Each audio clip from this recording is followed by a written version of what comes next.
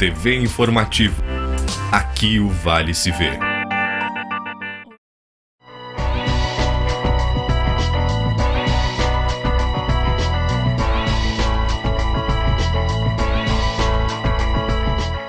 Olá, bem-vindo ao programa Fala Jurídica. Nós vamos retomar a entrevista eh, com muita sapiência. Foi o doutor Johnson, da Vara de Família de Lajeado, quando foi no seminário sobre justiça restaurativa. Semana passada nós estávamos comentando sobre a eficácia de uma justiça que restaura o conforto entre as partes, que muitas vezes vem a justiça muito distante, e daqui a pouco, como tu mesmo frisou um exemplo, é como se uma tribo de pessoas se reunisse ao redor do fogo, os grandes, hum. os antigos, os ancestrais, se reunissem.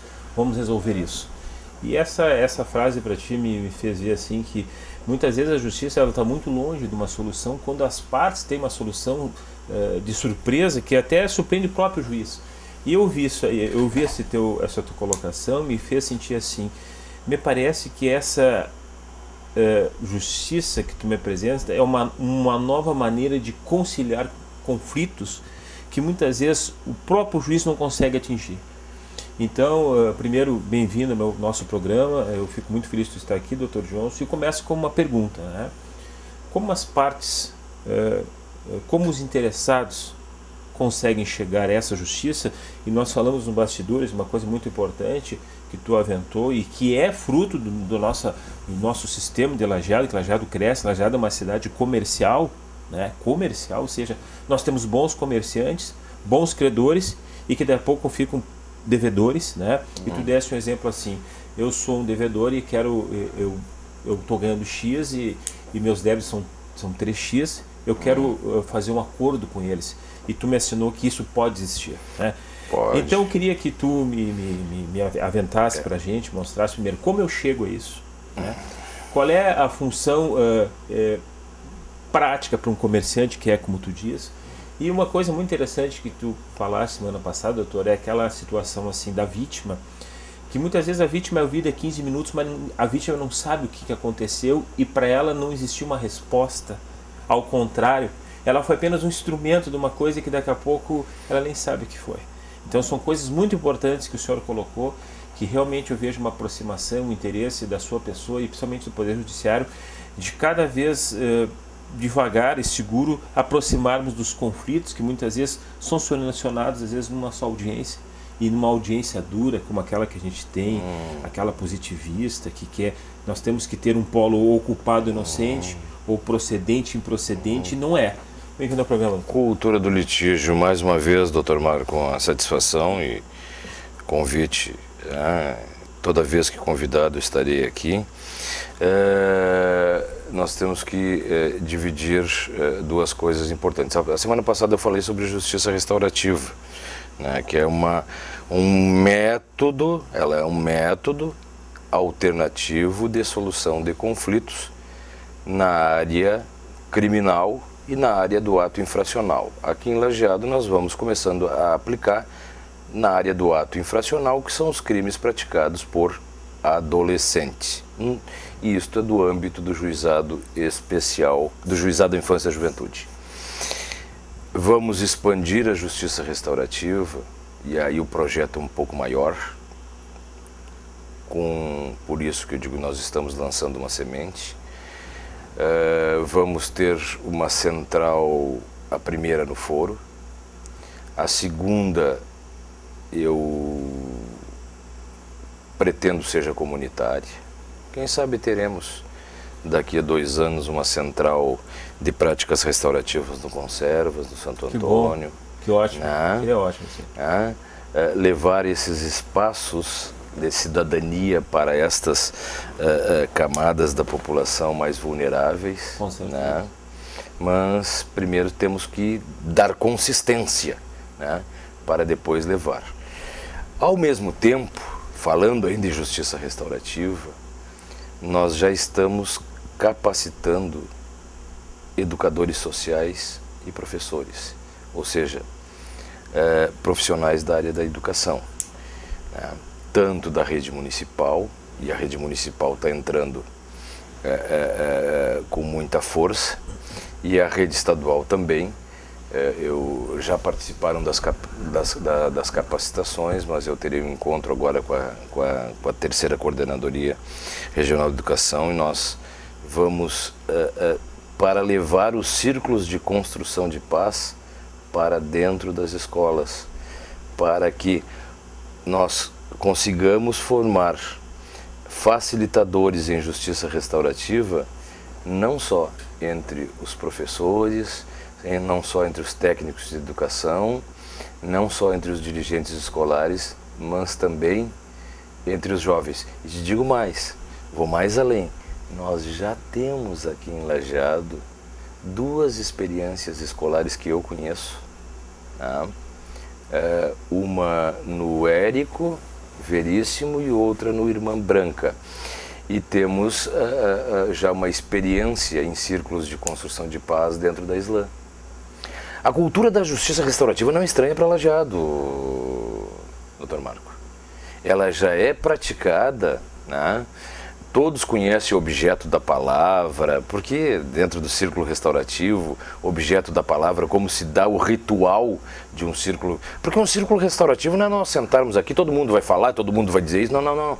Ele tem todo um ritual, ele tem uma declaração de abertura, uh, todos sabem o que estão ali, como é que vão falar. A comunicação violenta é uma técnica muito importante, ou seja, a pessoa vai aprender a se manifestar né, de forma não violenta. Né, a comunicação que se chama CNV é muito praticada. Né, e Lajeado nós já temos esses exemplos, ainda que não feitos assim de uma forma metodológica, não feito de uma forma fundamentada. Bom, isto é justiça restaurativa que é, começa no âmbito do poder judiciário e ela vai se espalhar uh, pela comunidade. Isso eu acho muito importante, principalmente eh, eh, nas centrais comunitárias, depois de uma consistência, e paralelamente nas escolas, porque a escola hoje ela é um palco de muitos conflitos né, entre adolescentes. E conflitos que, hoje, como é que eles são tratados? Ocorreu um conflito dentro de uma escola, chama a, a Brigada Militar, a Brigada Militar eh, como ela e nós temos profissionais da Brigada Militar. Eu tenho dele participou desse dessa primeira capacitação uh, uh, a delegada Márcia Bernini e a capitã Karine Karine Soares Brum. Né? Então eu trouxe a Brigada Militar, trouxe a Polícia Civil, né? o Ministério Público, a, a, a, os, os assistentes sociais, psicólogos, professores, esses 25 que foram os primeiros capacitados, nós, eu estou com a rede toda, né? eu estou capacitando uma rede toda para nós termos, desenvolvermos essa, essas culturas. E junto com a Brigada Militar e também com a Polícia Civil, a Brigada Militar implantou um projeto do qual eu uh, apadrinhei, né? o projeto esse de eh, audiências de conciliação em delitos de menor potencial ofensivo. Né? E até essa semana tive a grata satisfação de receber a revista do, da Associação dos Oficiais da Brigada Militar, onde tem a entrevista com o, o o Shauren, né? e ali tem uma outra página comigo, né? é, como um dos incentivadores e estimuladores, porque isto é um processo, a Brigada Militar, né?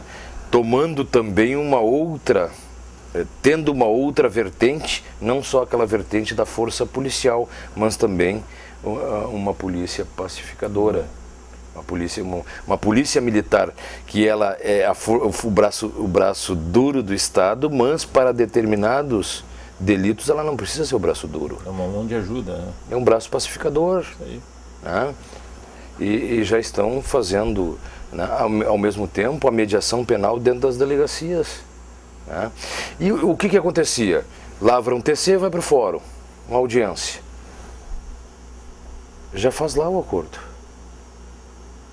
Traz só o papel para o juiz homologar. Como é que a gente faz para fazer isso, doutor? Eu tenho vários processos assim, eu tenho um processo Estrela, é, do conflito de vizinho. Uhum. Eu vou dar um exemplo prático que, como litigante, conflito de vizinho que vai acabar em morte. Mas não, mas ele está judicializado? Já está judicializado. Não, Já pode, pode o que pode, o que pode, o que pode, bom, agora nós vamos é trocar para mediação. Vamos trocar agora, vamos, vamos, né? Nós há pouco tempo instalamos, e eu sou o juiz coordenador, é mais outra, é, é mais outra, é, é, é, mais outro cargo que eu estou exercendo, juiz coordenador do Centro é, Judiciário de Solução de Conflitos de Cidadania, mais conhecido com, uma, com a sigla de SEJUSC, né? que ali o palco é o palco da mediação. Né? Uh, já estamos numa fase um pouco, embora não faça o mês que uh, houve a solenidade de implantação, né? e já estamos trabalhando já com várias sessões de mediação, né? e aí se pode pedir na comarca, né? pode pedir na comarca porque esse centro judiciário aqui de, de Lajeado, ele pode atender qualquer uma das comarcas do Vale do Taquari. Ótimo. Né? É, a mediação é uma irmã mesa da justiça restaurativa. A mediação também é uma forma alternativa certo. de solução de conflitos, em que na base do conflito e principalmente nessas relações de vizinhança, relações continuadas, que as pessoas vão continuar se relacionando, né? e que é, uma sentença não vai resolver o conflito. Não vai resolver. Não vai resolver o conflito cada um vai receber a sentença depois de prova disso, contestação, né, recursos e tudo, nunca vai, nunca vai resolver aquele conflito, porque aquele conflito ele não tem base jurídica, ele tem base sociológica. Né? Então, dentro do espaço do campo da mediação, né, como uma forma alternativa, se pode se resolver este conflito. A mediação, ela hoje está aí, nós já estamos com sessões de mediação quase que diariamente, já com uma equipe também de 25 capacitada, né? É, trouxemos, já tínhamos aqui no Vale do Taquari já mediadores é, é, judiciais capacitados, né? E que já estão trabalhando e essa semana obtivemos resultados muito positivos no campo da mediação. E a mediação, o Sejusc, que funciona no sexto andar, né? E aí eu vou dizer, assim, até para, transmitir, a, a, a chefe do cartório do, do, do Sejusc, do Centro Judiciário, é a minha assessora Marise, ela está ali, agora ele funciona, é do outro lado, tem um cartório de um lado uhum. e do outro lado está lá, Sejusc bem grande, é só chegar ali e, e, e, e levar né, a, a, o, a, seu, o, a sua reclamação, o seu caso, né, para ver se se enquadra dentro. Porque o Sejusc pode fazer até pré-processual, não precisa ter um processo judicializado. Uhum. Né? E as questões, um dos projetos do Sejusc, é, esse projeto é desenvolvido pelo Judiciário do Rio Grande do Sul, inclusive o Rio Grande do Sul ganhou um prêmio Novari há dois ou três anos atrás. O projeto do superendividamento. A pessoa está aí com. está super endividada, uhum. né? vários vários uh, débitos com lojistas, enfim, né? Ele pode reunir todos aqueles carnês, ir até o fórum, né? Uh, e pedir, né? Claro, de forma pré-processual, assim, não tem processo, uhum. ele pode pedir que o judiciário convide os credores dele, e é convite, não é intimação, nem citação, é pré-processual. Convite. Para os credores irem até o fórum e lá sentados com ele, ver a capacidade de pagamento dele né, e renegociar aquelas dívidas de forma que é, ele consiga pagar com o que ele tem né, e os credores receber.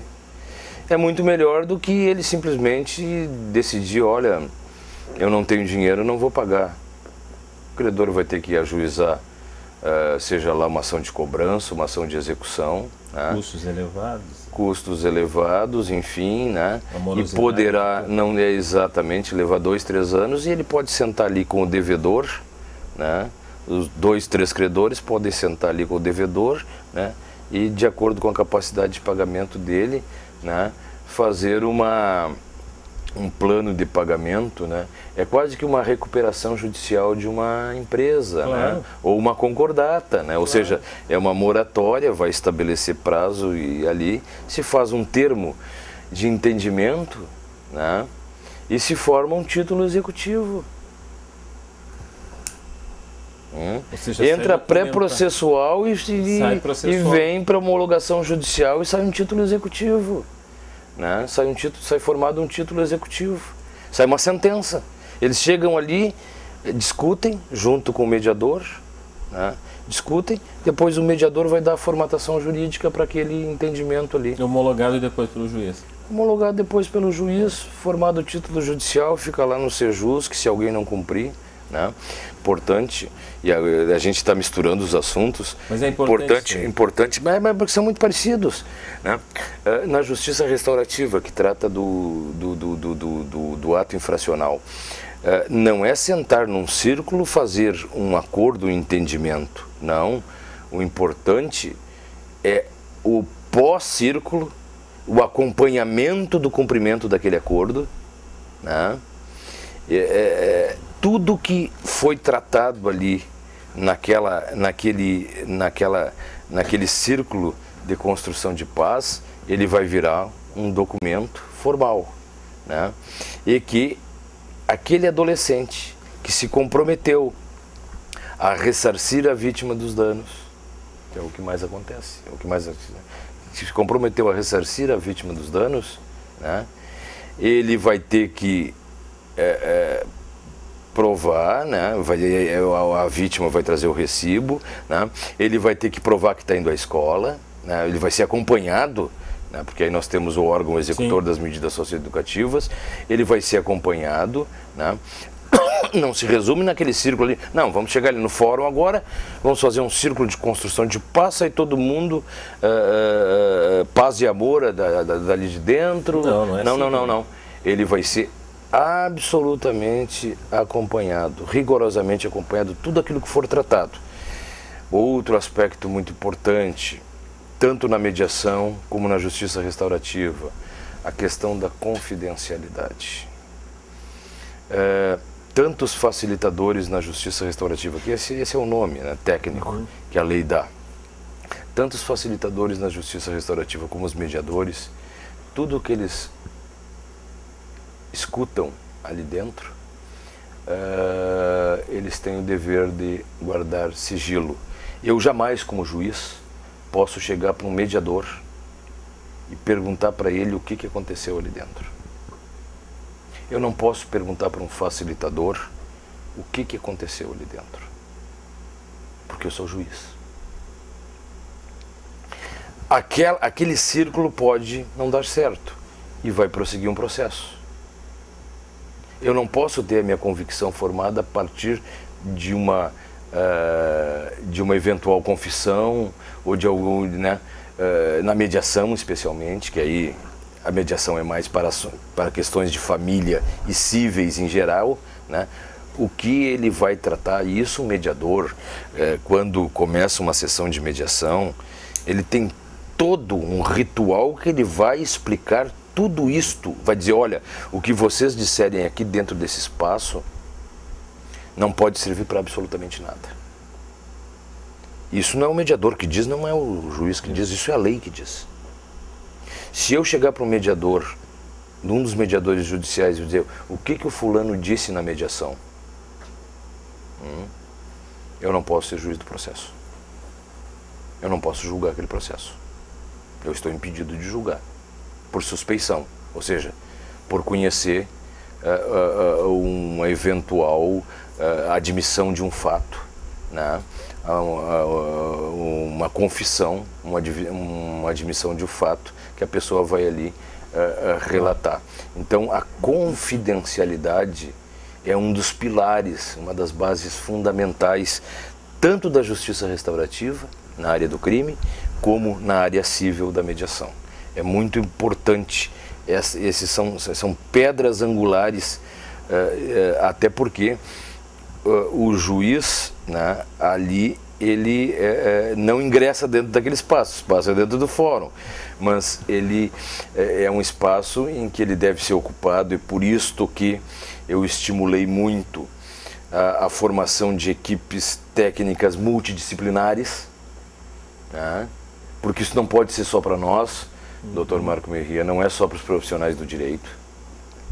Né? Uh, esta semana teve uma sessão de mediação em que estavam profissionais da área do direito, da psicologia e da assistência social. E que luxo! Claro. Né?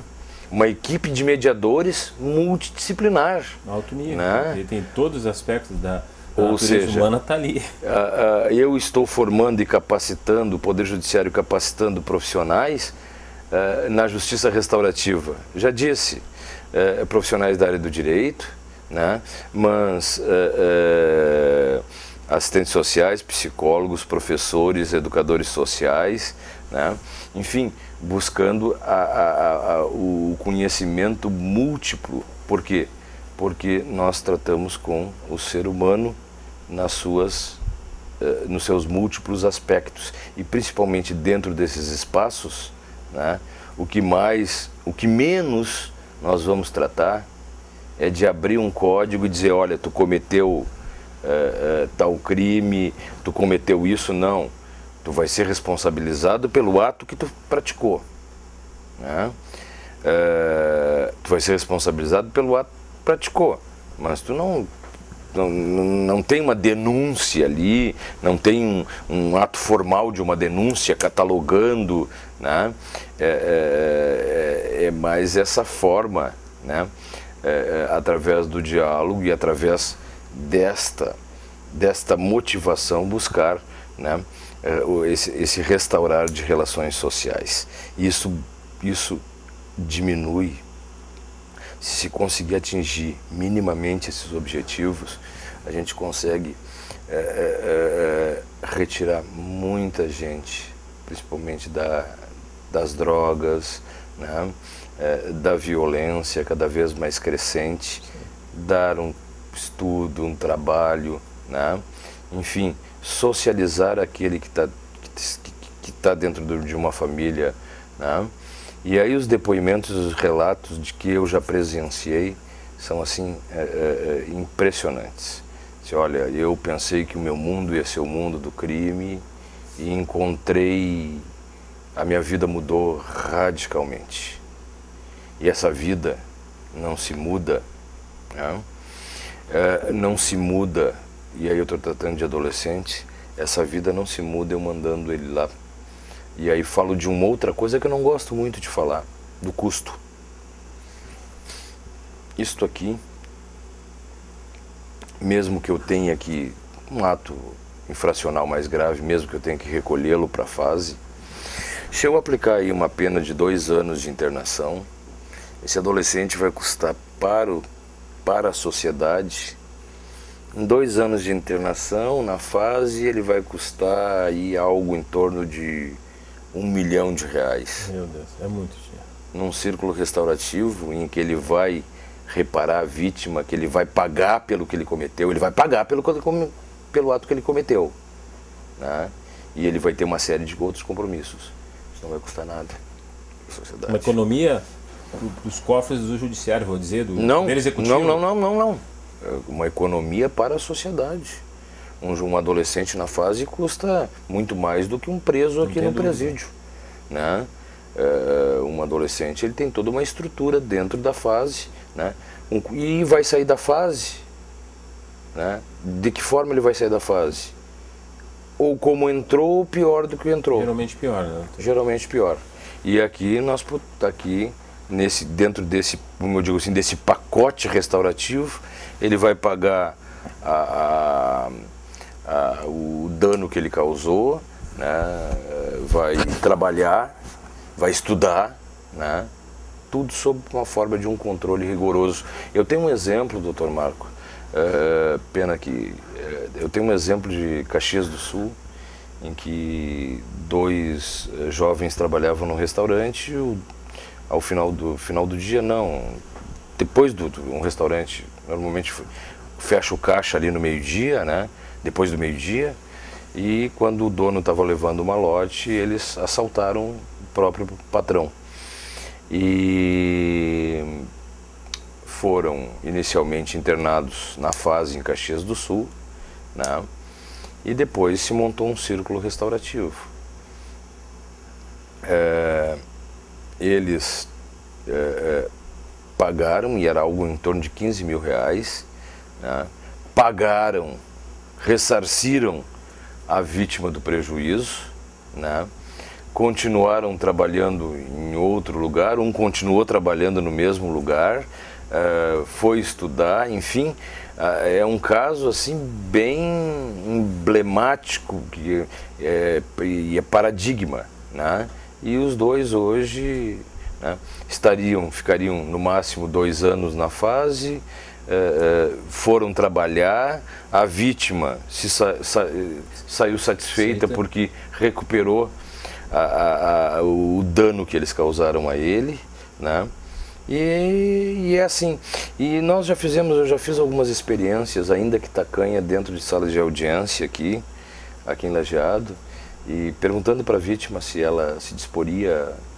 E olha, por incrível que pareça, é, não fiz, né? não fiz uma mediação penal, né? porque entendi que ainda é muito cedo, vamos deixar para os técnicos, né? uhum. né? Mas a vítima, a vítima estava louca para conversar com. Isso já acontece muito nos casos que eu tenho. É, é, mas olha, eu não tenho dúvida de que nós teremos assim, ó, a vítima, né, mas eu não me senti seguro, uhum. né, não me senti seguro, porque vamos deixar esta cultura. Isso eu fiz na área, nem foi da área da infância e juventude, foi na área, foi na segunda vara criminal, né? E olha, dali poderia sair assim, vai, vai ser responsabilizado, vai ser responsabilizado e vai ser responsabilizado e é, a própria vítima, ela, muito, ela conhecendo aquela pessoa, ela pode dar uma oportunidade social para ele. Não tenho dúvida. Doutor, senhor sabe, eu vou comentar um caso, o senhor falou no caso espécie, de, de, como condição de juízo, eu falo como defensor. O senhor sabe que há um tempo atrás veio uma vítima do homicídio no meu escritório para abonar a conduta da pessoa que teria sido réu. E eu cheguei e disse, eu não posso, eu não posso de maneira alguma influenciar o senhor de nada, né?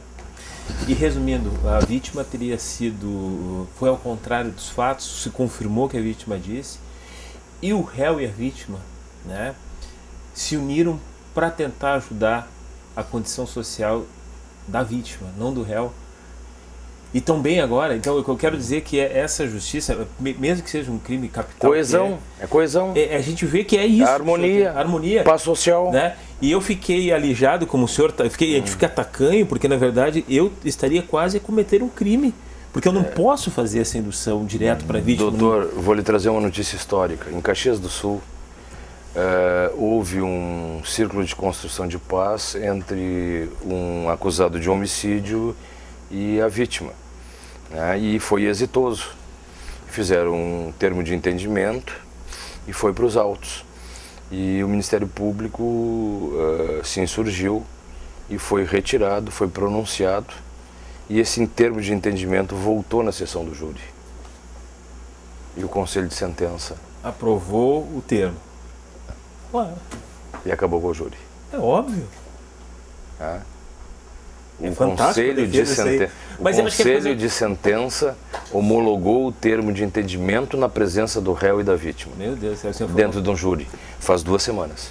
Eu vou ter que, vou ter que atrás desse processo aí, que para mim me interessa. É, mas, tu, mas, mas, doutor, tu vê como as coisas são interessantes. É, claro, a gente começa a ter experiência, coisas que eu não imaginava antes. Uhum. Hoje me parece que as coisas são como vou dizer assim, mais a, aceitáveis e, e, concretas, porque muitas vezes a gente vê no conflito do pena capital, né, que a própria vítima sabe, eh, tirando as condições de culpabilidade, sabe, foi apenas um fato, eu acho que eu posso aceitar com uma penalização, não aquela imposta, mas uhum. outra. Será? Eu acho que tá, estamos chegando a isso, né? É, e depois assim, ó, o, a insatisfação é muito grande a insatisfação é cada vez mais crescente. Isso não é no Brasil, é no mundo.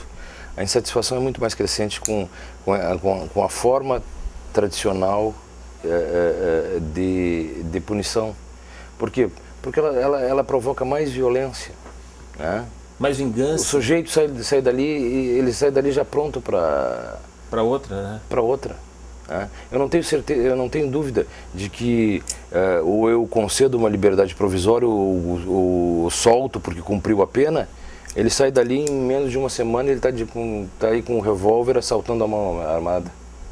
A, a, a punição, às vezes ela se faz necessária, às vezes a segregação da sociedade, mas essa segregação ela tem que ser qualificada, ela tem que ser e a justiça eh, restaurativa ela, ela tem esse viés, esse viés de restaurar as relações sociais e recuperar as pessoas. Doutor, é uma satisfação sempre estar aqui no nosso programa e eu, eu falando contigo, toda vez que tu vem aqui eu aprendo, tu exala a sabedoria e, e muito mais que isso, eu acho que tu é um visionário na área e falta para nós, operadores de direito, ter pessoas visionárias, né, que vão buscar uma solução disso, porque às vezes eu, eu me confortava no meu íntimo com uma coisa que na verdade tu já está visionando e já está apregoando até na prática isso aí. Muito obrigado, doutor Marco. Eu só diria o seguinte, que eu tenho um compromisso muito grande, né, e por isso que é, eu não me conformo em fazer o mesmo, né, nós uh, continuarmos fazendo sempre as mesmas coisas e vendo elas dar errado. Nós temos que buscar, e são alternativas que são praticadas né, uh, uh, no mundo todo, especialmente nesses países que eu mencionei, Canadá, Austrália, Estados Unidos e a Europa toda. Né? Isso é um movimento internacional. Isso não é uma nós, não, nós, nós, nós estamos buscando né, um pouquinho da, da, da, da, da, das experiências, adaptando. Nós somos um país de desigualdades sociais muito grandes, mas vamos caminhando. Né? É isso que importa. Até o nosso próximo programa.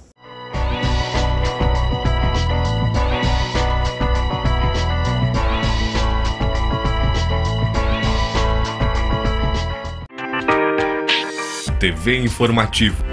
Aqui o Vale se vê.